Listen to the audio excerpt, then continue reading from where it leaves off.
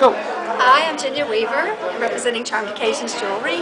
I am a great Big Monkees fan, and I'm here with a variety of different items, some specifically Davy. I've made a Davy scarf, and I have two of the group. These are designs that I put on fabric themselves and pendants go with them.